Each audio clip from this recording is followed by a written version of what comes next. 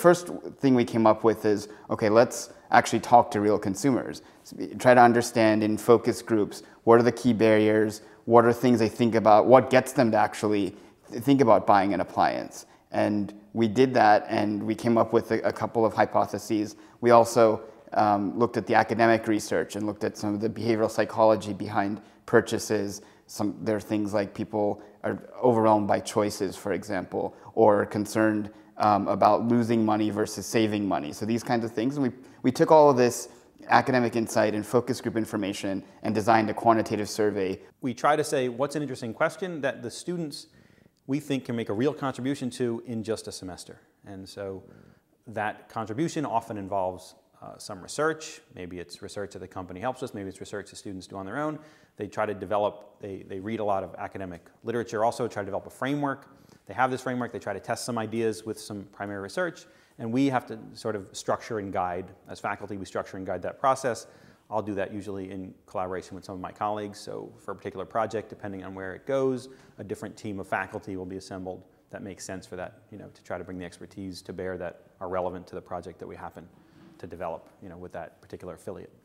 So it's really different than the classes that I have for the rest of the day at SOM. It's working with, um, I guess there's four other people in my group, four other students, and we get together every week for three hours and we discuss discuss the problem, discuss, you know, it's depending on where we are in our, in our um, process, in our um, project process, we, we talk about the problems that came about that week, any research that we did independently, and we have a really good, you know, brainstorming sessions and discussion sessions every week that we also included in that time is, is time directly working with the professor. So they'll often come in at the beginning of the session and sit down with us, make sure that we're on track. They'll also give us um, some insights in, in you know, what directions to head. For example, at the beginning, we weren't really sure exactly where to start at all. So they pointed us in the direction of a number of academic journals or people here on campus that we should talk to to get a good grounding in the, in the questions that we were looking to answer.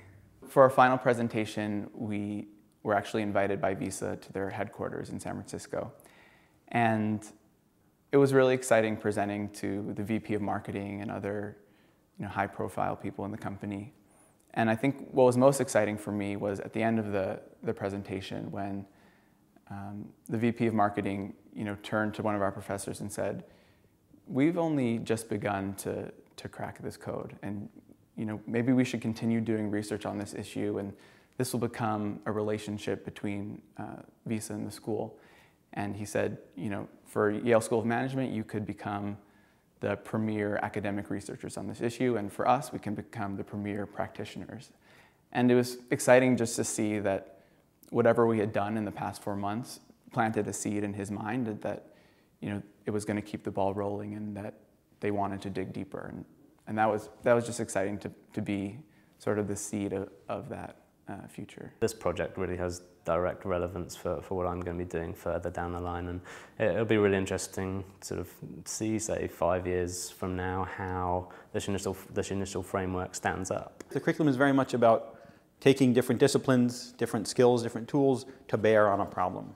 Right? So the business world doesn't throw things at you with a label across the top that says this is econ issue, this is a finance issue, this is a marketing issue, right? Situations just arise and you try to react to them and innovate and develop, you know, organizational responses that are most suited. This gives people a real chance to practice that. I mean, because these are real situations that a company is facing that are complex, where we don't know what the issues are going in. We don't know what kind of tools we'll need. And we, you know, as we investigate, we learn about what the problem is, as much as we're learning about the solutions might be. And so it gives them a real chance to apply all the things they've learned and to bring, especially across a team, bring a very different set of skills to try to develop a few new skills if they need them and say, let me dig into this problem. We're trying to make sense out of something that's confusing and something that other people haven't been able to make sense out of.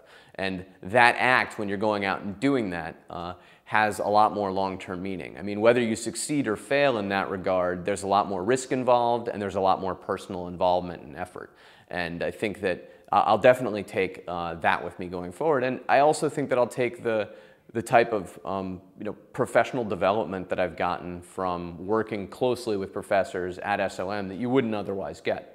I mean, there's very few classes where you have a group of five people and you have two professors working with you. I think that that's, that's fairly unique, and you do that on uh, you know, a weekly basis. So uh, that, I mean, that in and of itself is a real benefit that many other classes don't offer.